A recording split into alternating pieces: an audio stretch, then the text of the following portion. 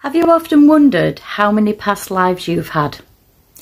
There's a really, really simple way of knowing that. Obviously, you can go to a past life regression person. I've had past life regression. I'm also trained in past life regression. And I've had past life regression maybe four times. Um, one time I was in 1906 in London. Another time I was in 1645 in France.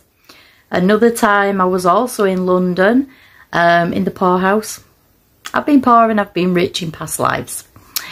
There's a really simple way of telling how to do your past lives and this is going to blow your mind. You're going to love this, okay? So you take your hand and you take your thumb and you put it over to your little finger, yeah?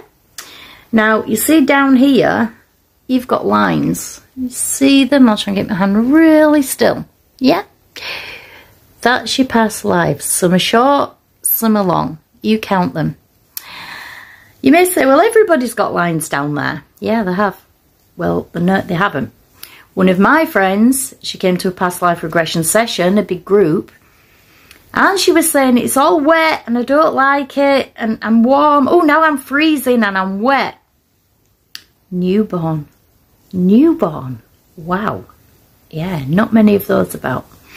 Um, so if you look at those, I can tell you now that me and my mum have got very similar lines because she's been in my past life a few times. My grandma's very similar.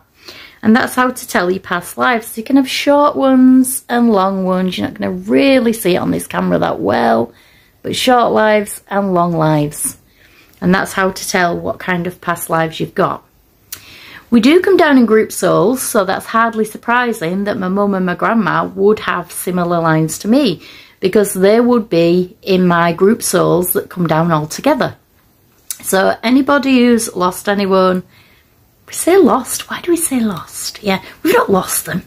They're in spirit world. We've not lost them. They're not, they haven't been lost to everywhere, out of space or anything. Yeah, we haven't lost them. Um, they're up in spirit world, so they've been they've gone back home to spirit world. Yeah, um, but you will see them again because you will come down in past lives. Anybody who's harmed you, hurt you, etc. in this life, and you don't want to see again, you really don't have to. It is up to you. You plan your forward life, but that's another video. So that's past life regression, forward life regression. Remember, you will come back with your loved ones.